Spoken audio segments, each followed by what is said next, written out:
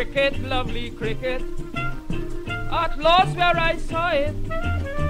Cricket, My dear old cricket. Bob Willis things, I would like to let you know that we will now be streaming at home with Henry from Monday the 26th of July until Friday the 30th of July. Now, being a great, great friend of Bob, we used, when we worked for Sky, we used to uh, drive round the country together, and what fun those journeys were. And what a privilege it is, therefore, to be able to help the Bob Willis Fund raise cash to fight prostate cancer.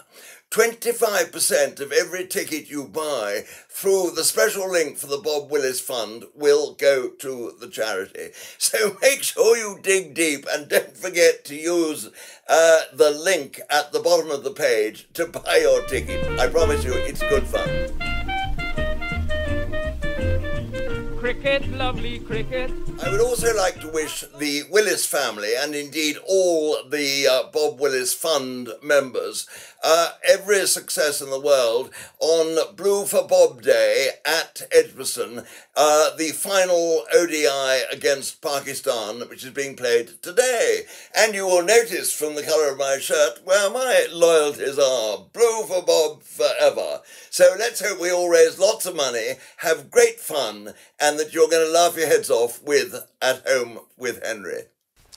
The, the dear Queen Mum, I must say, I heard a wonderful story about the Queen Mum the other day, which um, of, of, the, of Queen Mum at Clarence House, when she uh, she always likes her gin and tonic before lunch, and she um, rang a bell and said she wanted gin and tonic when our staff came, and she drank it, and then she wanted another, so she rang the bell again, nothing happened, and rang it a second time, nothing happened.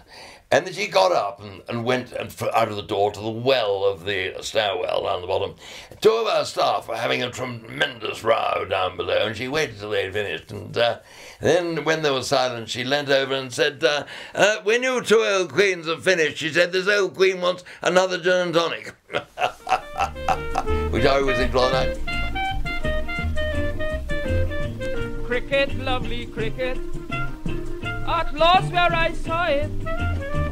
Cricket, lovely cricket. At Lord's where I saw it. Yardley tried his best.